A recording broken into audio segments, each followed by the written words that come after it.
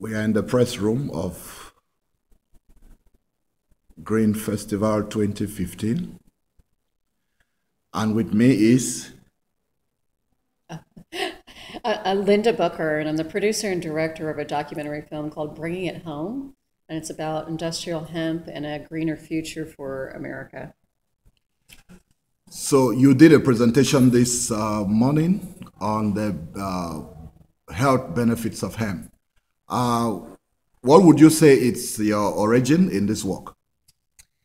Well, I think as a filmmaker, um, I, I, haven't been doing documentary films for very long. Uh, this would be my second feature, but you know that you're going to be committing a lot of time and a lot of work, especially in documentary. There's not a lot of money, so chances are you're probably going to be volunteering your time to make a film. Um, so you're looking for a good story. You're looking for something that's compelling. And my friend Blair uh, Johnson, who's actually the co-director on the film and did most of the primary shooting, the cinematography, she had been talking about hemp to me for probably a couple of years. We met at the Center for Documentary Studies at Duke University, and this is a topic she really wanted to do a project on.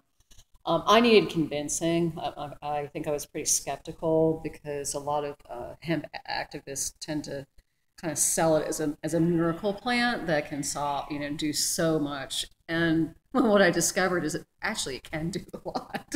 and so my discovery process, uh, when I was, was, doing the research, um, and then when I actually just stumbled upon an article in USA Today about the nation's first hemp house being built in Asheville, North Carolina, uh, my interest definitely peaked. And then we started. That's kind of where our journey started with the, with that house and that article. So tell me, uh, what are the five benefits, health benefits of hemp that you presented today? Mm-hmm.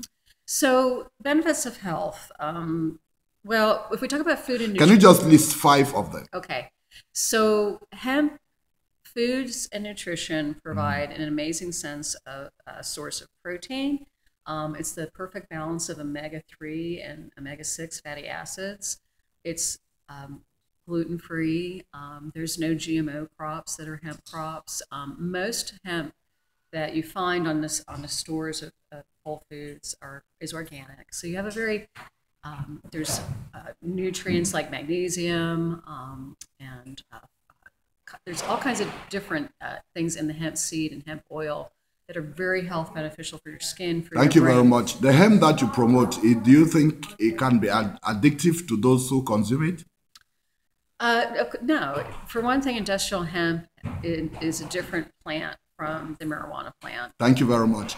Uh, what would you say to the people of Congress who are listening to your interview as to the need for legislature to have uh, industrial hemp plant uh, approved for growth by farmers in the U.S.? Well, what I say, uh, what I would say to them is that they need to support the Industrial Hemp Farming Act.